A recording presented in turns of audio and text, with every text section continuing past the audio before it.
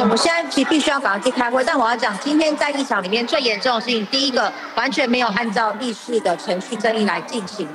我们每一条的逐条，我们民进党是登记五十一人发言，但是韩国瑜没收我们的发言，只准一个人上去。国民党用多数的暴力，只让我们一个人去登去发言而已。事实上，我们每一条都登记了五十一人发言。再来，今天第二次出现现场这个投票人数比出席人数还要多，计票错误的情形，计票错误绝对要重新计票，但是韩国瑜却不进行议事的处理，这是再次的是黑箱的做票。那我们今天民进党最大的诉求就是必须要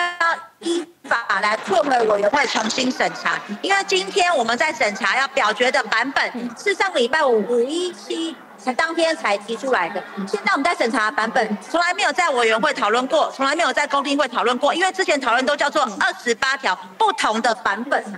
所以今天这个版本从来没有在我院讨论过，我们认为这是完全违背了立法院里面审查的程序，所以我们今天的诉求就是要求，不管是什么版本里面都可以讨论，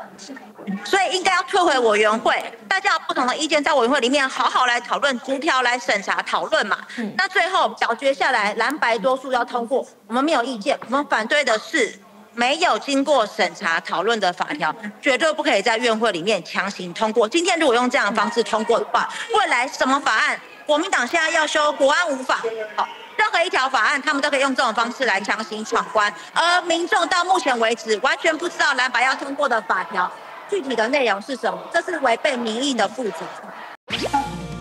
全台绝无仅有，政论妇女党上攻上一夫。啊好。刻在我心里的，忘记了。